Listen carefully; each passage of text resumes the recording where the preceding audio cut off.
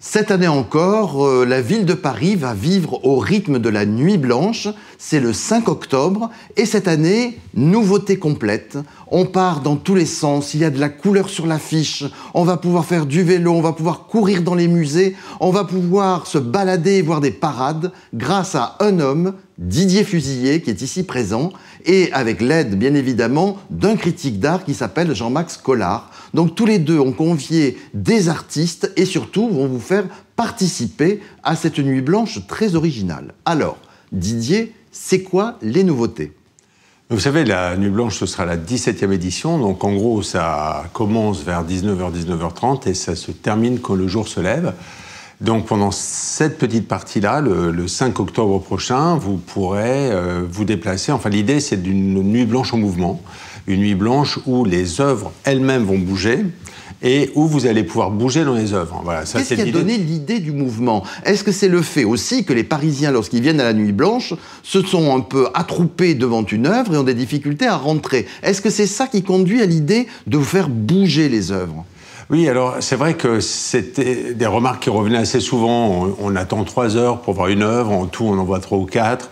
Donc il y avait peut-être pas une lassitude, mais enfin un, souhait de quelque chose d'un peu nouveau. Et, et, quand Anne euh, Hidalgo et Christophe Girard m'ont proposé de voilà, de, réfléchir à ce que pourrait être la Nuit Blanche de cette année, euh, tout de suite m'est venu vraiment cette idée du mouvement, parce que c'est Paris, c'est la mobilité, ce sont aussi des choses incroyables à voir, c'est la frustration totale, puisqu'on sait dès le départ qu'on ne pourra pas tout voir, et donc ça aussi, ça fait partie aussi de, cette belle chose, finalement, de, la Nuit Blanche, de ce beau concept, et donc vraiment l'idée d'une sorte de parade d'œuvres d'art avec Buren, Annette Messager, Shanna Moulton, mais aussi des gens de théâtre, euh, de, des, gonflables. Sylvie Fleury est en train de nous faire un, gonflable absolument délirant. Il va y avoir de la barbe à papa euh, qui va, vivre au bout, va nous balancer ça à 12 mètres de haut. Enfin, vous voyez, il va y avoir une sorte de parade assez fantastique rue de Rivoli. Il faut savoir qu'il y a des parades déjà, évidemment, la Gay Pride, euh, les, la, la Technoparade, mais, mais là, ce sont vraiment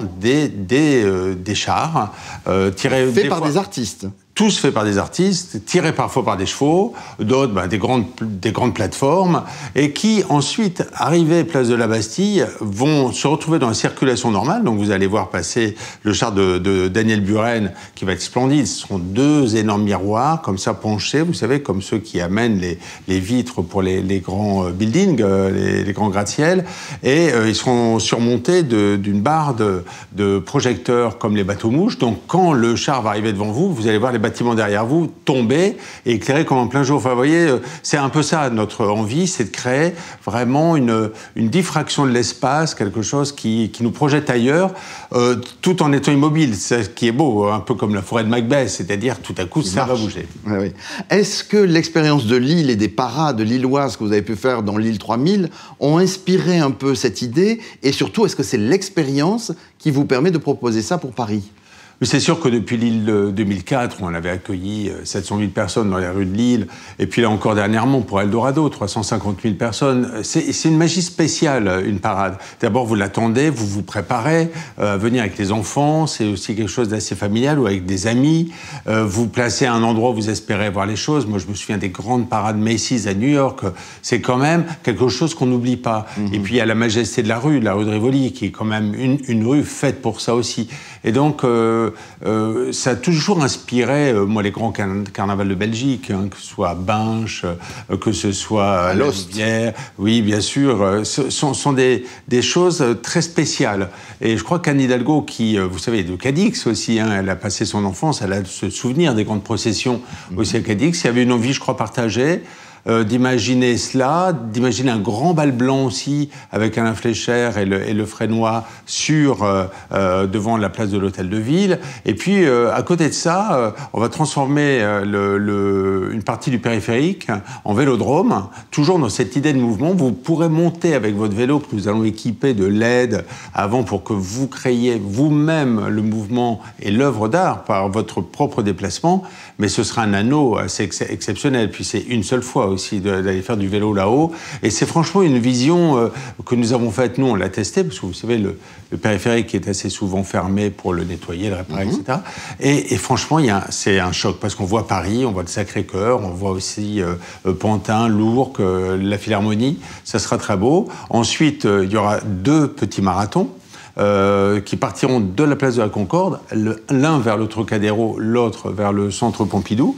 Et, euh, et, vous aurez un dossard, en fait, son sac sans rien, et vous allez pouvoir traverser le Louvre, les arts décoratifs, le centre Pompidou, la conciergerie, le, la scène du théâtre du Châtelet, euh, les Invalides, enfin, un, 42 euh, magnifiques musées et bâtiments, et des monuments exceptionnels. Vous passerez sous la Tour Eiffel, en, pas en courant, enfin en marchant, mais entre-temps, vous allez courir. Et je pense qu'il y aura cette, cet éblouissement propre euh, à la nuit, pour moi en tout cas, et à la fascination qu'exercent pour nous ces grands, euh, ces grands bâtiments que, que l'on verra évidemment différemment, puisque ce sera une vision fugace. On pourra s'arrêter, évidemment, on fait ce qu'on veut, ça n'est pas chronométré.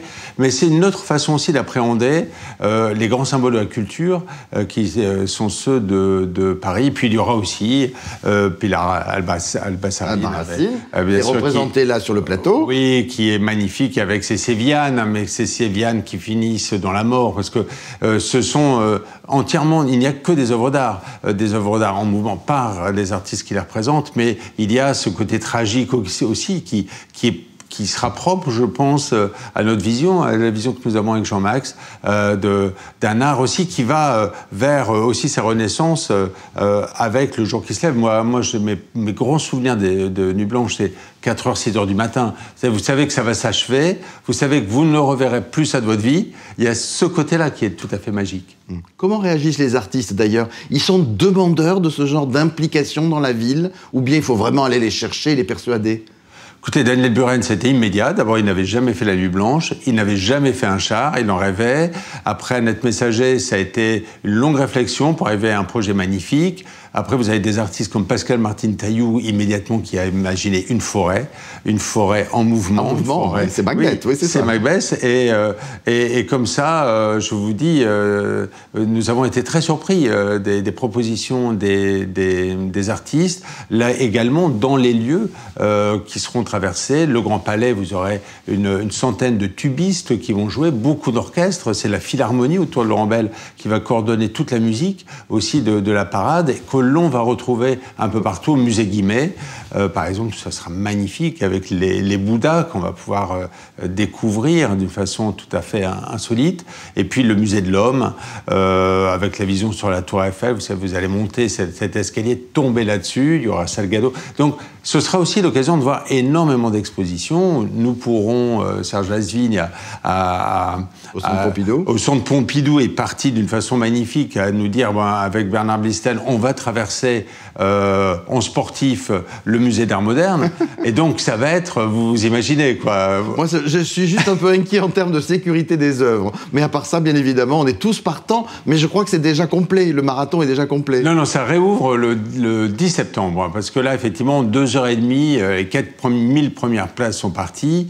Euh, non, c'est aussi notre volonté de, s'inscrire à Nuit Blanche. On peut s'inscrire pour vivre la parade de l'intérieur, on peut s'inscrire pour venir faire du vélo euh, sur le périphérique, on peut s'inscrire euh, donc pour courir. Et si on ne s'inscrit pas, évidemment, on vivra la, nuit blanche là où on sera. Sur la rue de Rivoli ou ailleurs. Bon, vous avez compris, on ne peut pas tout voir. En revanche, on peut s'inscrire, on peut avoir tous les détails sur le site nuitblanche.paris. Et puis n'oubliez pas la date, le 5 octobre de 11h, non, avant, 7h. Ça commencera même la veille. Jusqu'à au, au lever du soleil. Au lever du soleil. Bravo, à bientôt. Merci Didier.